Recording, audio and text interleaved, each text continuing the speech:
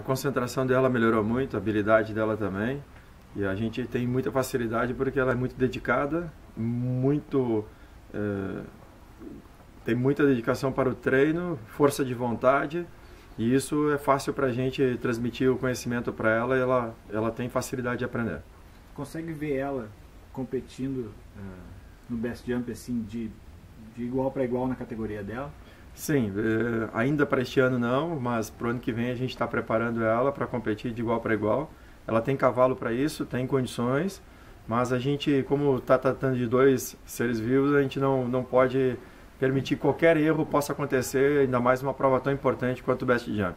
Então, com calma, com tranquilidade, devagar se vai ao longe, a gente vai alcançar o sucesso com ela. Uhum. A questão o cavalo é o cavalo certo para ela. Por quê? Por que, que o Cyrano casa tanto com ela? Porque ele é um cavalo de muita, muita força, muita habilidade, muita técnica. É um cavalo é, valente ao extremo e jamais, jamais vai deixar ela mal em algum obstáculo. Ele faz de tudo para não tocar no obstáculo e faz de tudo para transpor qualquer tipo de obstáculo. É, já um outro cavalo, a Débora tem ainda algumas atitudes de erros em cima do cavalo normais que pode acontecer de cavaleiros amadores, isso é muito normal.